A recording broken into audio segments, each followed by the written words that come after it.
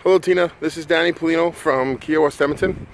I am just um, going to do this quick little YouTube video here for you.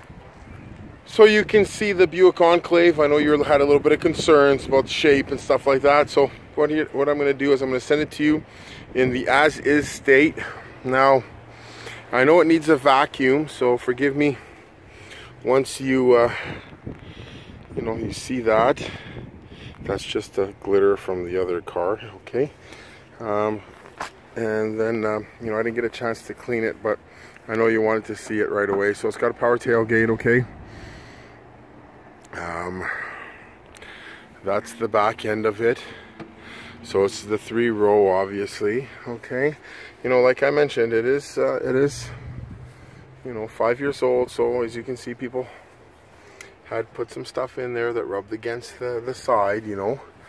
Um, but as you'll see, I think it's in pretty good shape for the year.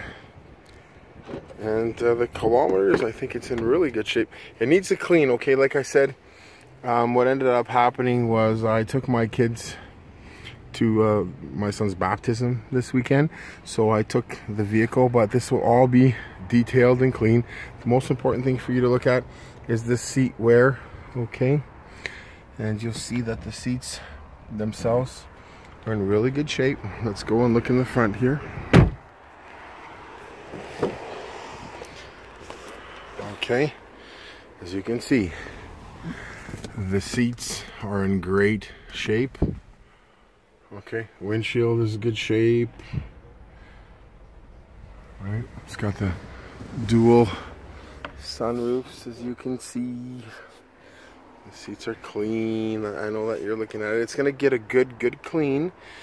So don't worry about that. I apologize because I had used it myself and uh, and I didn't clean it yet. So it'll get cleaned. But uh, body is what I think you should be looking at right now.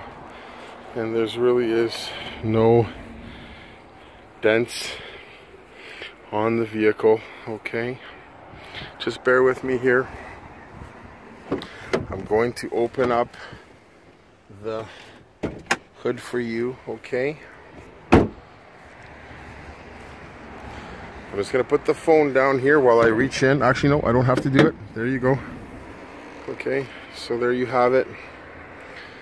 Not really not much you can see in the vehicle, but right, like you know, a good clean and everything will be fine. But the most important thing is, is I want you to see the vehicle itself. All right. Um,